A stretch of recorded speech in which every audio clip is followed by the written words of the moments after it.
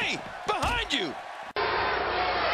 Just who in the hell do you think you are and whose side are you on? You tell me, whose side are you on?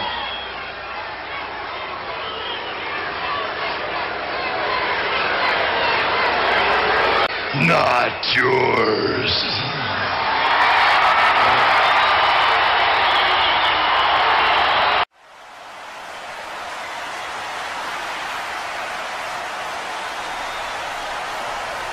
God, there was nothing accurate about that attempted offense. Oh, you're being too kind.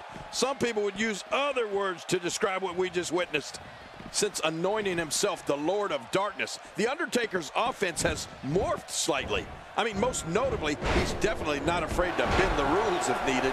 King, what's your analysis of Jake Roberts? Well, luckily the body hasn't absorbed too much of an attack up to this point. Look out what's going on here. He's bringing it back inside the ring now. I can't blame him. Keep it in the ring.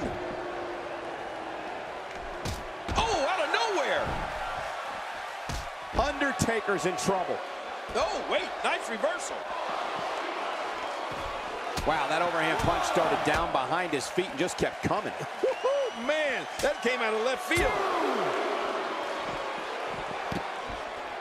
He's too good inside the ring to be out on the floor for long. I don't agree with you, King. King, you mentioned Undertaker's penchant for, well, cheating of late. Yeah. But let's not forget that this is a dangerous man with real skills in that ring. Oh, of course, Cole. We're not going to forget that. You're still going to see the snake eyes, the big boot, and the leaping clothesline. There's just going to be plenty of underhandedness mixed in. Not today, too fast.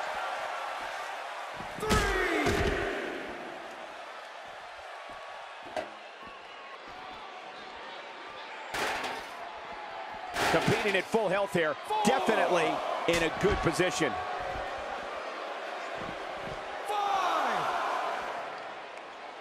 He sees it.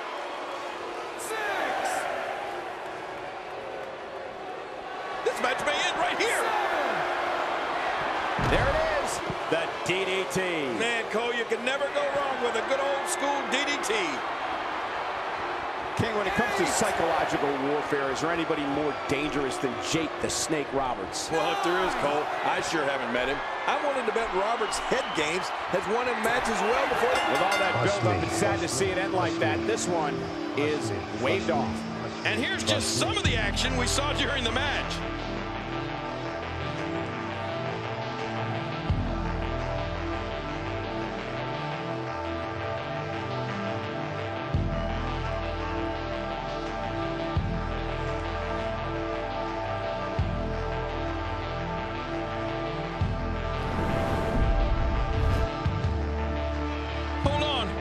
What's he doing? Oh no, he's got a chair. Don't do this. Come on, don't do this.